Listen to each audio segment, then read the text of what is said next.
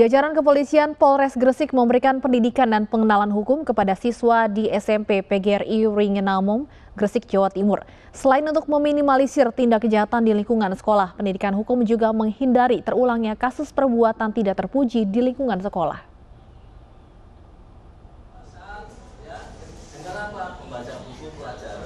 Jajaran kepolisian Polres Gresik melakukan pendidikan dan pengenalan hukum kepada siswa SMP PGRI Ringinanom Gresik, Jawa Timur.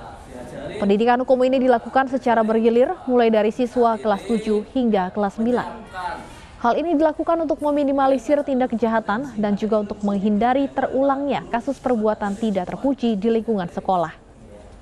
Sementara itu, Nur Kalim, guru korban persekusi, sudah kembali mengajar di sekolah. Peristiwa persekusi terhadap dirinya tidak menghalanginya untuk terus mengajar. polisi ya?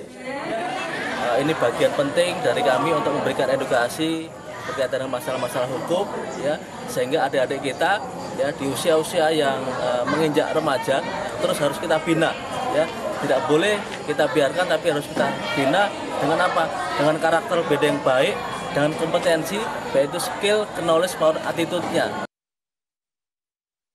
saya semua saya sudah clear semua gitu Pak ya. Itu saja. Insiden ini ya, tanya gimana Pak? Ya saya akan tetap mengajar karena tugas saya hanya satu mengajar itu saja. Saya ingin mendidik anak-anak saya kembali Pak.